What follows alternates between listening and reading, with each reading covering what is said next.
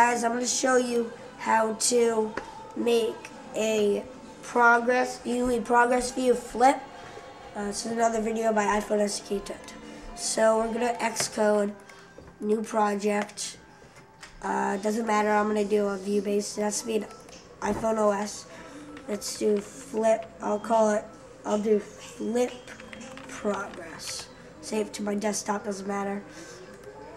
I have to overwrite it. Now let's start by doing all the coding.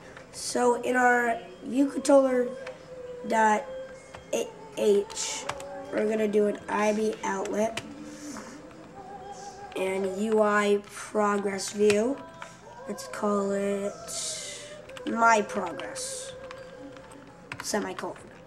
And before we do our interface, let's just go to our uh, .m, and you're gonna put, you can put it wherever you want this action to be, I'm just putting it in my view did load.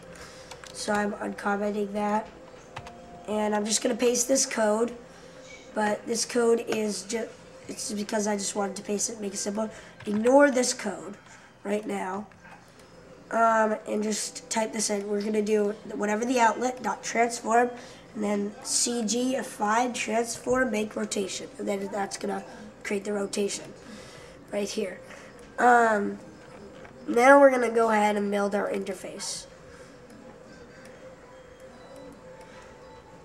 Um, if you add a, uh, pro a UI progress view from the library to your view, let's just go to, let's just center it. Now we have to click on Files Owner, go to Connections, and drag My Progress, or whatever your outlet was, onto the UI progress view, and save. Um, now let's build and run. There should be no errors, obviously. And it worked. And uh, now I'm going to show you what this code is. So say we had uh, a navigation bar or something like that. I'm just going to type in my website as the title. It's not finished, but working on it. Say we had it like this. Now, if you think about it, what's going to happen? It's going to do this, because right here it flip, practically flips this to the side, and since this goes down, so it goes like right there with the center of the progress view. So this code is to fix that.